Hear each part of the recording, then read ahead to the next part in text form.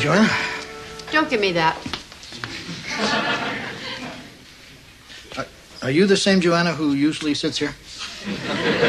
Don't try to ignore this, Dick, because after what you did last night, I have every right to be angry with you. When we went to bed last night, you, you weren't mad at me. I must have been some demon with those covers. You spent the whole time flirting with another woman. When? Last night. In my dream. Ah. For a minute there, I, I thought you were upset over nothing. We were at a dinner party eating sesame chicken, and you spent the whole night talking and flirting with this brunette in a flowered hat and ignoring me. And, and, and that was it? Until your ears got big like Dumbo's and you flapped away. it was all so real. But, but it, it, it was just a dream. I know it was just a dream, but it feels like it really happened. But, but it didn't. But it's just the sort of thing you would do. Morning, Dick. Morning, Joanna. You know, George was there, and he was mad at you, too. I was. When? In uh, Joanna's dream. Oh, I'm sorry, Dick. Do you forgive me? Don't be silly, George. You, you don't have to forgive people for something they did in a dream. Right, Joanna?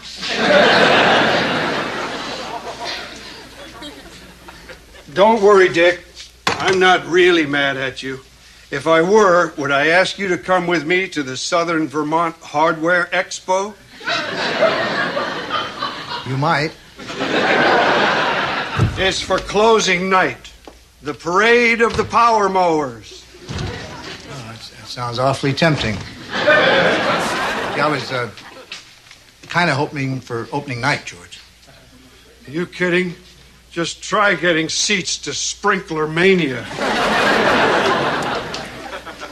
Hi. I'm Larry. This is my brother Daryl, and this is my other brother Daryl. We was wondering if we might chew the cud alone with Miss Stephanie. Go for it. Hi, guys. How are you? Speaking strictly for yours truly, lovesick. I know. Miss Stephanie, I'll always have an eternal pilot light burning in my chestal cavity for you. But since your dainty heart is on temporary loan to another, I've decided to pick up the scent of a different dating trail. And lo and behold, my nostrils hit the jackpot. Good for you, Larry. See, prayers are answered. I didn't pray for this. Well, the important thing is one of us did. Who is she? A fetching young filly that works at the bakery. We was lured there by an advertisement promising bear claws. It was just a come on. When are you two going out? Just as soon as she knows I'm alive. That's why I've come to you. I need some brushing up on my dating do's and don'ts. Ah, gee, Larry. I'm so swamped.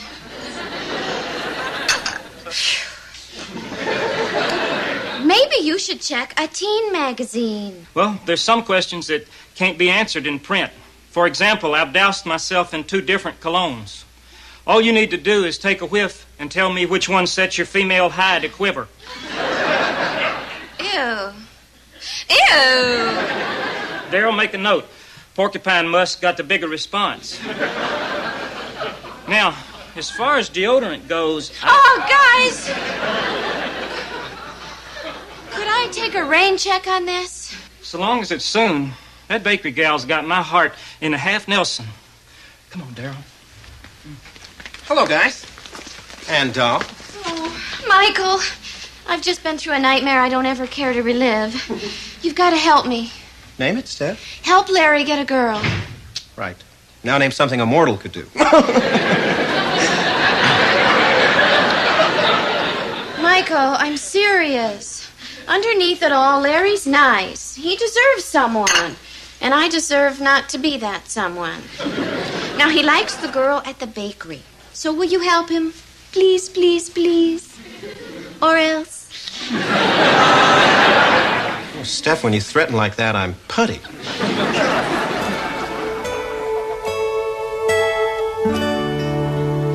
Hola, muchachos. Excuse me, but are you here on purpose? Believe me, nobody's more surprised than me. but I'm here to do you a big favor. Sorry, but your reputation as a wiseacre forces us to say sure. Guys, guys, I'm sincere. Stephanie asked me to help Larry get his bakery gal. Oh, now I see who's pulling his strings. Okay, help away. All right. Now, why don't you tell me what you plan to do, and I'll critique. Well, I figured I'd state my case, and if the mood is right, invite her for a romp in the nearest bog. To tell you the truth, Lar, a few 80s gals are into that bog thing. Really? Well, what if I grease my hair flat and slick, take her out on a date claiming I'm Lorenzo Lamas, then halfway through the evening break it to her that I am in truth Larry? Actually, Larry, I hear Lorenzo gets real annoyed at that kind of thing. Oh, dear. So I should just burst on the scene as myself. Well, Larry, in your particular case, I don't think you want to go with a visual right off. Uh, I know. How about uh, we write her a letter? Okay. Daryl, fetch our personal stationery. The one with Snoopy and the little bird. Ha- have a seat, Larry. Okay, great. Now, uh, where shall we start? Well, seeing as I saw Jolene on her name tag, I suggest we go with Dear Miss Jolene. Better to go with a grabber. How about, uh, hey there, dream date? Well, Daryl likes it, but Daryl doesn't think it's me. Well, Larry, relationships are hard enough without getting bogged down in honesty. when I first made peeper to peeper contact with you at, where'd you meet her? The bakery? Casa de Crullers. I said to myself, Twist of Fatal Rama? now, uh, what's left to say? I'd like to spend a romantic evening with you talking under the soft blue glow of a sizzling bug zapper.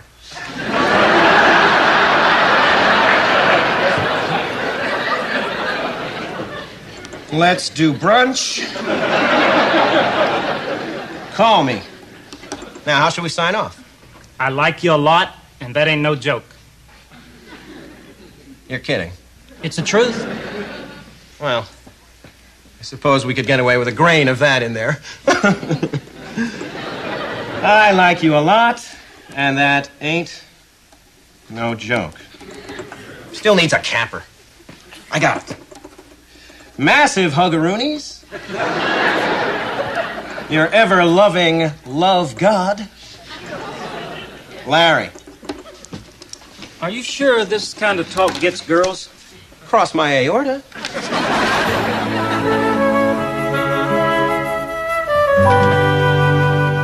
Oh, honey, great news. You interpreted your dream all wrong. It, meant something completely different th- than what you thought. Dick, be smart. Drop it. E- everything in your dream was something else. The, the sesame chicken represented your your hunger for attention, and and the lady in the in the flowered hat uh, represented your unresolved differences toward your mother. And I, of course, was really the idealized male. What about your Dumbo ears? Jo- Joanna, it was a dream. Don't analyze it to death, okay? Dick, let me tell you my interpretation. The sesame chicken was sesame chicken. The woman in the flowered hat was a woman in a flowered hat. And you were a wife ignoring flirt. Joanna, why don't you just tell me what you want me to do? I want an apology. Joanna, that's ridiculous. I, I can't apologize for something I did in a dream. Well, I wish you'd try. Last night you chased me with a giant radish. Oh, how typical. You know, I, I've been in other people's dreams, and, and I've been fine. Oh, Stephanie, I've been meaning to ask. Do you think Michael would be interested in going to the Southern Vermont Hardware Expo? George, you realize your invitation contains the word hardware. Oh, yeah, right. Uh. Hi! Hi! Look! Oh, dear. In the throes of ecstasy, I forgot my manners. Hi, I'm Larry. This is my I, I brother. know, Larry. what are you so excited about? Look, I actually got a reply to my letter from Miss Jolene. And perfume soaked to boot. Smell. You're not going to get me again. I have to thank you for bending Michael to your will and forcing him to help me. Anytime, Larry. What does the letter say? Well, leaving out the sweet nothings, she says she could tell from my letter that I was the kind of man she'd like to meet. That's wonderful. Your writing must have really gotten to her. Yeah, I guess so, because. Uh oh. The bottom just fell out of cloud nine.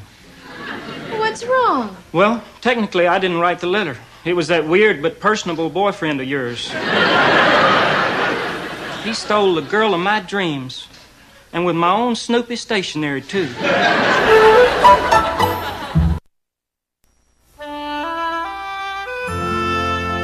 Michael, I sent you over there to help Larry get a girl. You helped yourself get a girl.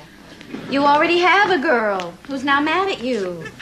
Steph, donate those furrows to farmers. I've been working with him, and I really think I can make Larry into a reasonable facsimile of the guy who wrote that letter. Hola, I'm Larry.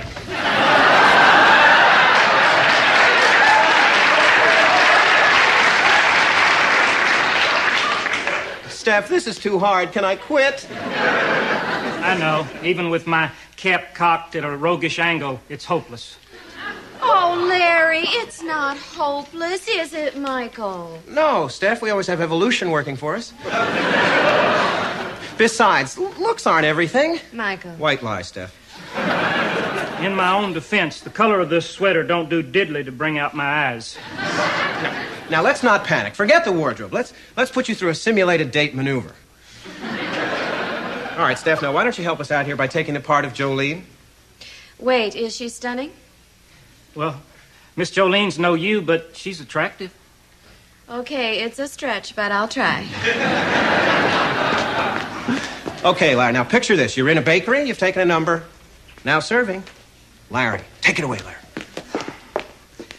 Hi, I'm Larry, and you're Jolene. Hello. You're supposed to compliment me now. Oh, may I say you're looking as appetizing as a truck struck weasel.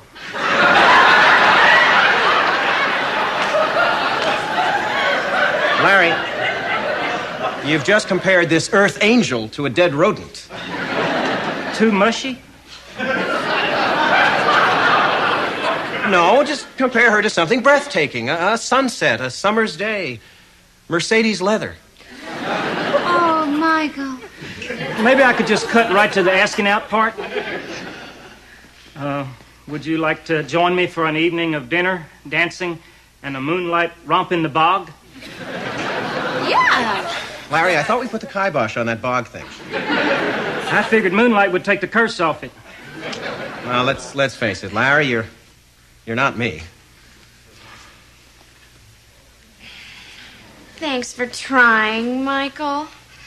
Larry, I'm so sorry.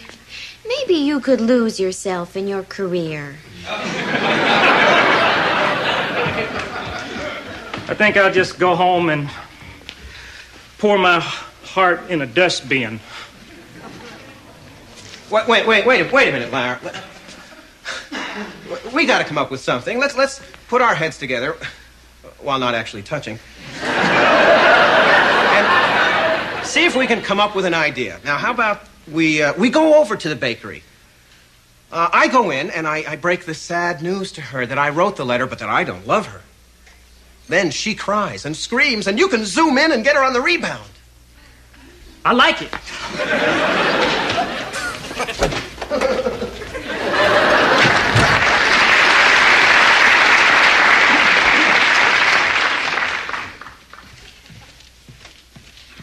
Dick, we have to talk. Jo- Joanna, let me guess. You dreamt I was a crazed warthog, and you're going to have to shoot me. I read this dream book of yours, and I realized there are a thousand ways to interpret a dream, so I guess I was being a tiny bit Insane. unfair.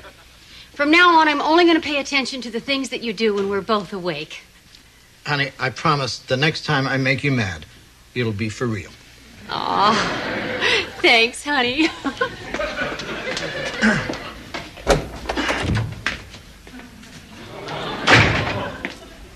Hello, is this the Stratford Inn?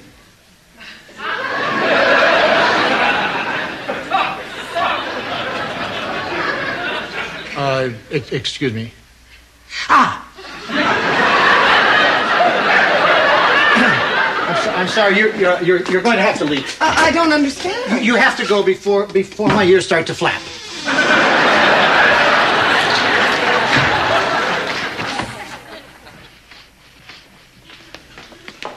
I'm all set to go to the hardware expo.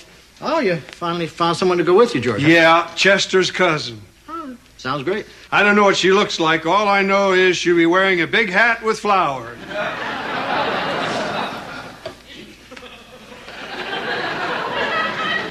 Well, I'm sure she'll be here any minute, George. Lady! Lady!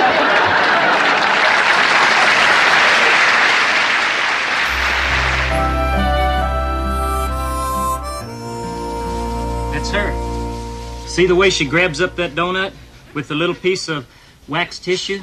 Very feminine. If you say so, Larry. Okay, now, don't hurt her too bad. Just enough for me to get her. Don't worry, Larry. You're talking to Mr. Sensitive.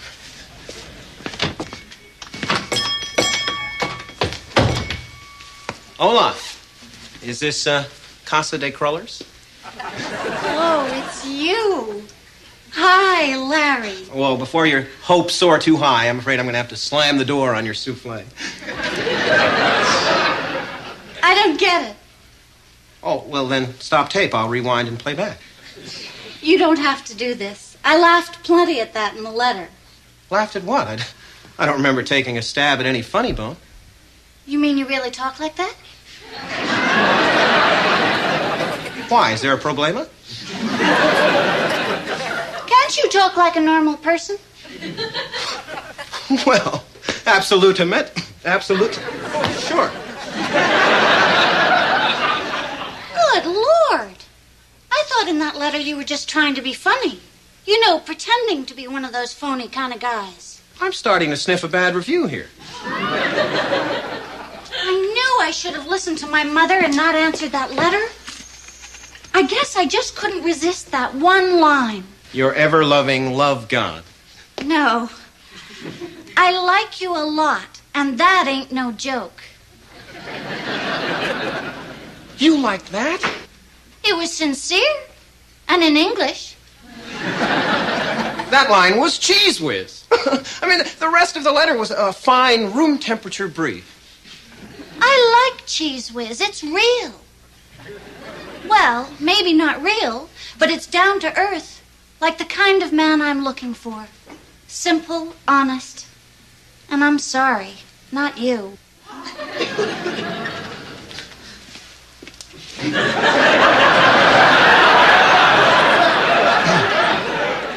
Well, that saves me the trouble of breaking your heart. and luckily for you, I've got just the guy. He's he's the author of that line. He's he's right outside. Wait here. Well, from my point of view, she seemed to take your heart stomping pretty well. She did, didn't she?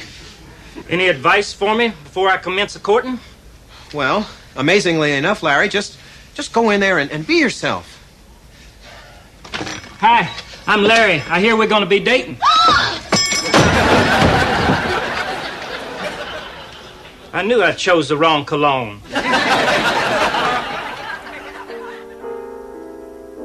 So make it one for my baby and one more for the road. Daryl, another hit of milkshake. Make mine a double. Women. Yeah. Can't live with them, can't stuff them in a sack.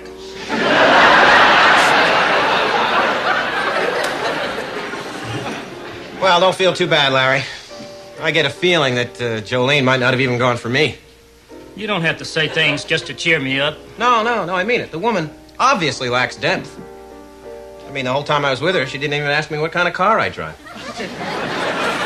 Women.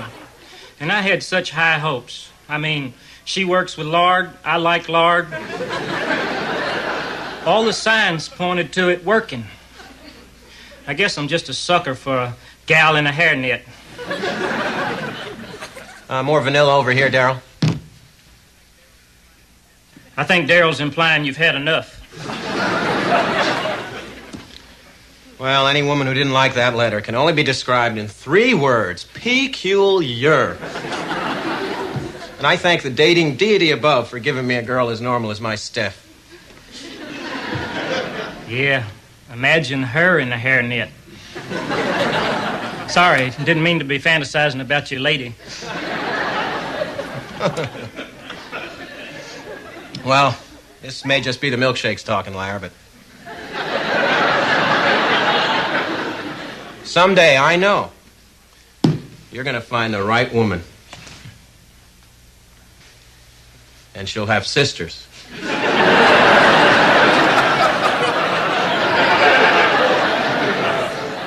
Believe me, Larry, someday a woman's going to walk through that door and see you and not scream.